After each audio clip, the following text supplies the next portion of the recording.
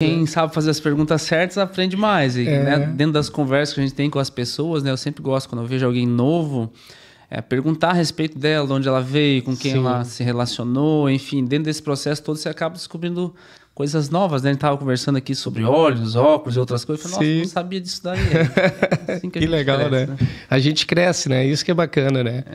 Mas conta um pouco para nós quem é o Robson, de onde é que vem, né? Olha, hoje eu sou pastor né, da igreja Verdade Igreja ali em Porto Belo. Eu sou formado em fisioterapia também, estou atuando na área hoje mais focado ali em ozonoterapia, né? Já estou dentro do ministério já fazem 13 anos, como pastor especificamente, né? Mas ah, dentro do mover da igreja eu me converti com 11 anos. Minha família se converteu nessa época.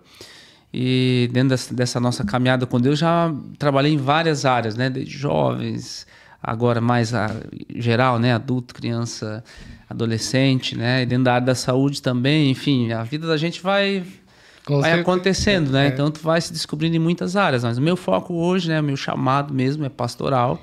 A gente chama, ah, eu sou bivocacionado, ou seja, estou dentro do ministério pastoral, mas ainda tenho atuo na minha profissão, né? Não mais como algo primário dentro da minha vida, né? Uhum. Meu foco hoje é o meu chamado, mas também, né? Isso a gente usa tudo.